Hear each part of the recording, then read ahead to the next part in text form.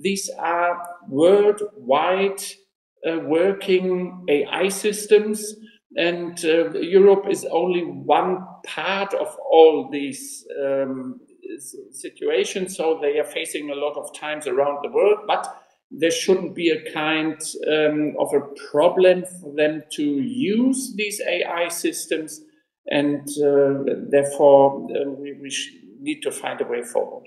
On the other side, we have the creative sector, what is very important, and uh, therefore we need to know exactly what problems they might have. Is this a kind of an out, uh, input question at first, if they are training their algorithms with already copyright protected works and what does this mean?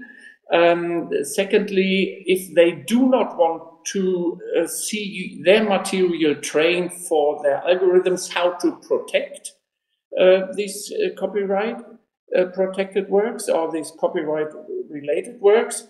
And um, also, there must be a question if we are coming to remuneration, how can this be, um, start uh, directly and how they can discover these and how we can manage these in a machine readable way and in seconds so that we have a kind of a lifetime and nothing is hindering at the end the output. So the question of input and output is playing a role if this has to be remunerated or how far we can go and, and let this happen and so on.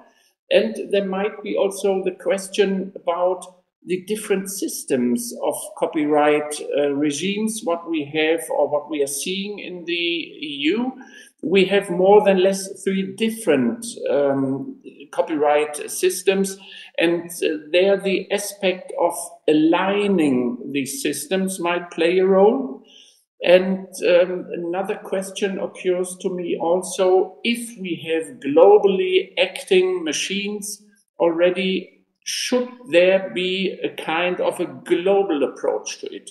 Meaning also we are inviting some of our like-minded friends in the world so that we have not only the commission on board, um, that we, they also can hear along to this uh, what they have in mind and also what they would they can listen in, in a kind of a consultation way or whatever it is.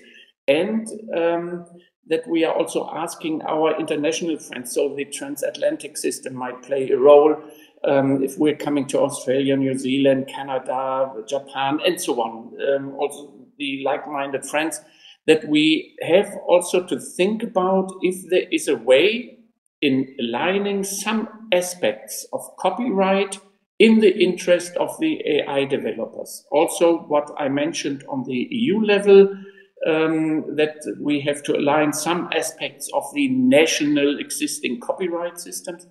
And so this is also what we should probably try in this yeah, international dimension, also having in mind um, there is WIPO from Geneva, there is OECD, and there's the G7 process also coming with generative AI development. So we have a lot of issues to align. This should be a starting point and it should be um, at first produce some ideas or problems what a legislator or a moderator or however you're seeing this might be helpful with what needs to be solved.